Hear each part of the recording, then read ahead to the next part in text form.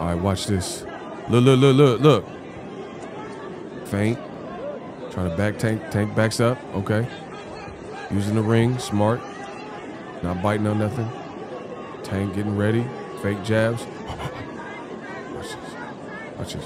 Back him up. I think I got him. I think I got him. I think I bow. We fall down, but we get up.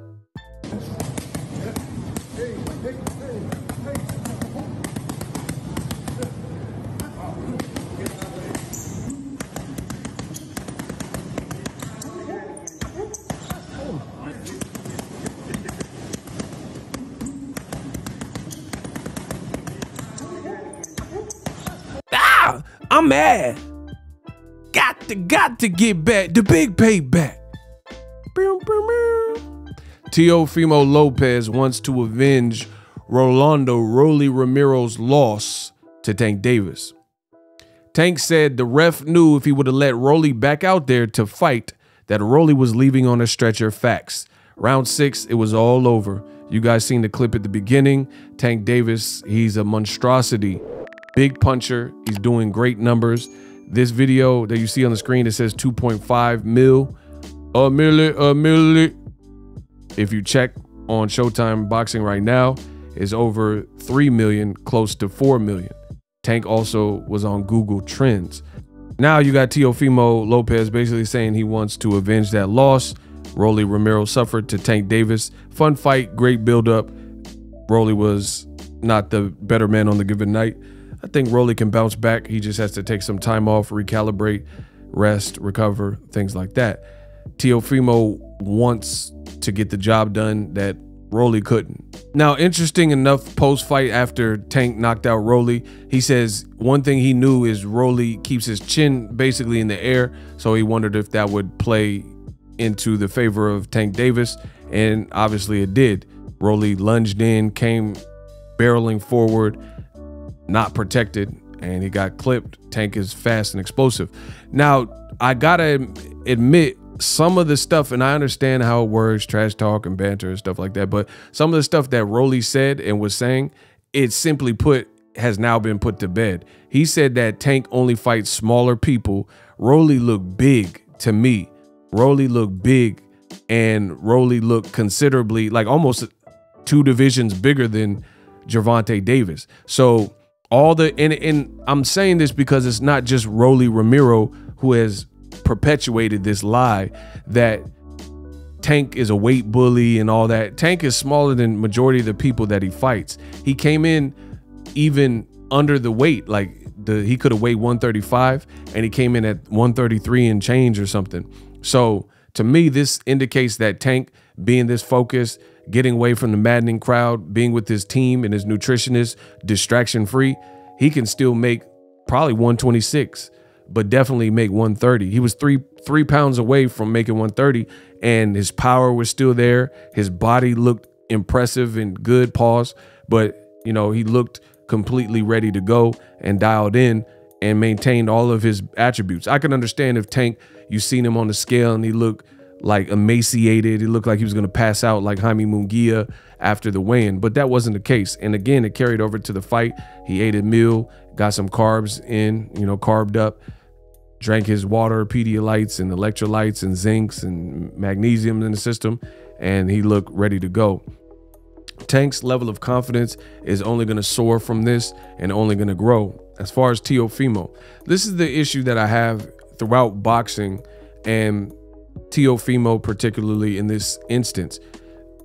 People will keep denying that Tank Davis is lit and a star, but they have to mention him, which kind of defeats the whole purpose of suggesting that you're the A side. And what do I mean by this? Teofimo previously, before losing to George Kambosos, who's fighting this weekend against Devin Haney, you guys got to subscribe to my channel for the latest and greatest in boxing, period. So we will get an official undisputed, something that Teofimo didn't do, but he claimed he was undisputed. And we'll get that this weekend with hopefully the winner decisive. And I say hopefully because there could be a chance that it's like Jermell Charlo, and I'm not hoping for this, but Jermell Charlo Castano one, where we are supposed to get a conclusive winner as to who is the undisputed, and it didn't happen. So hopefully, and I think the temperaments of the fighters, Devin Haney and Kambosos, we should get that. But as you guys see, that's the knockout. Boom. Tank Davis is a star. Tank is lit. And you had people like Teofimo Lopez, who was claiming before he lost to Kambosos that he was actually the A side over Tank. He literally fixed his mouth and said that. He said he's the A side and Tank better do as I say kind of kind of thing because I'm really the A side here. Now he has no belts and he's calling out Tank at 140 saying he wants to avenge Rolly's loss. And you know, it's a little bit weird. For starters, it's false. Tank is absolutely the A side. Tank had 19,000 people almost in the Barclay Center in New York. He's not even from New York. So T.O. has to sit down and understand that he is the B side. I know his dad said, We got J Lo and you know, this, that, and the third, but all that J Lo talk and this and that, J Lo has never, I've never seen J Lo in the same room and pictured with Teofimo Lopez. So I don't know about J Lo and all that. Men lie, women lie, numbers don't.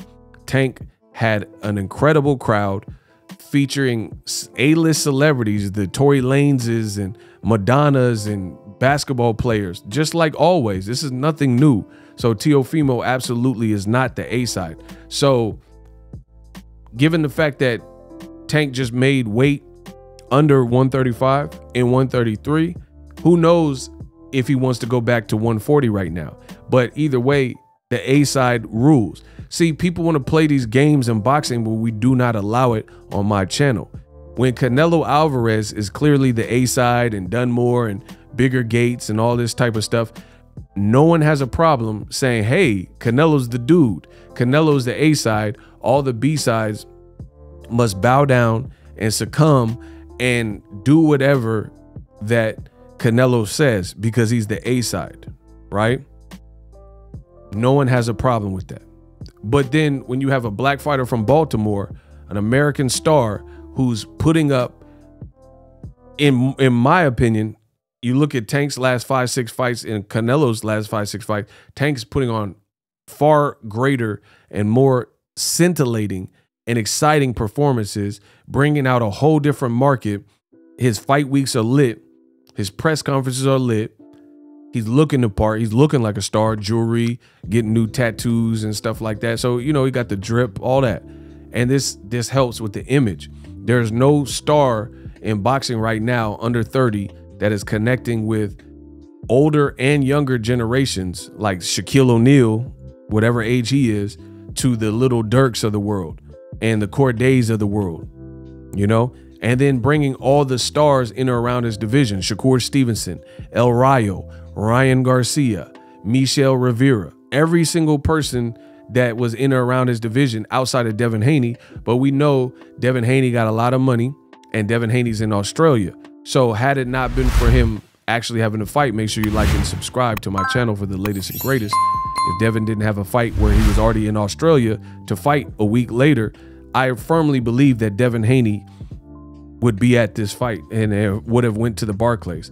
He seems like he spends a lot of time in New York and enjoys it out there, goes shopping and stuff, gets new jewelry out there if you follow his social media. So I really feel like had it not been for him fighting in Australia and needing to acclimate, he would have been at the fight too. So Tank is a star as far as Teofimo. I don't know about him avenging the loss, but he doesn't control in my in my mind, seeing how he's not the A side, he wouldn't control what division the fight happens at. Furthermore, he's coming off of a loss, so I think he would probably to make that fight because he's already not the A side, as I've stated throughout this video.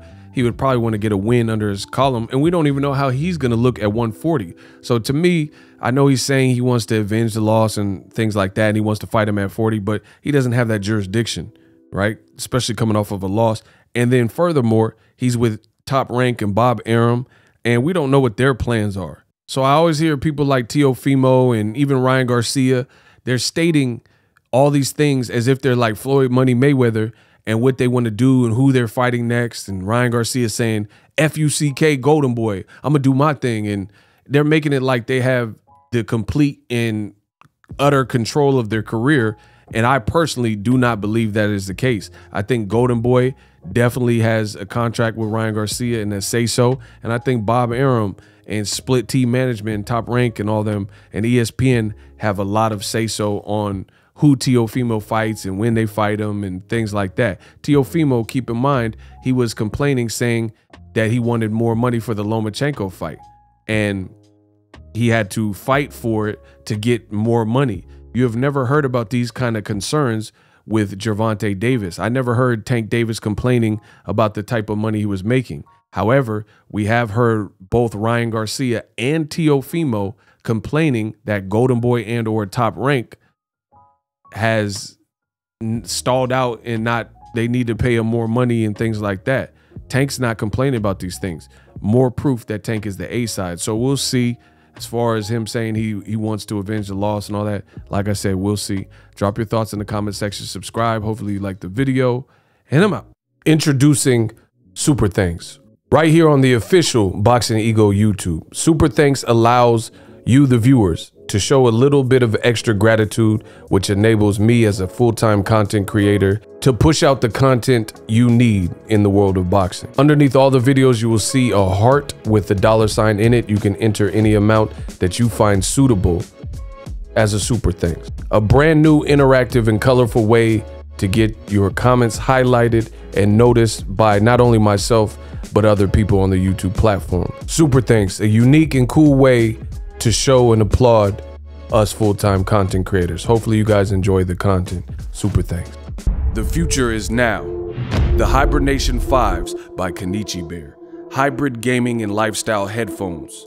Out of the box, you can connect to any console or PC. Bluetooth ready with a low latency USB adapter, color RGB, and extreme bass mode. The Hibernation 5s adjust to you, whether you need a gaming, travel, gym, or lifestyle headphones, the Hibernations got you covered. The new Hibernation 5s, link in the description, Customize the way you hear the world. Welcome to the nation.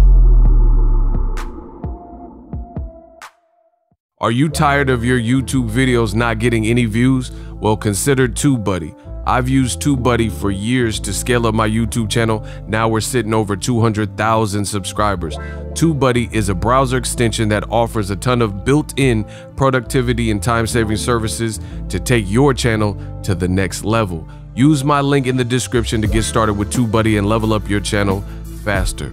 We working.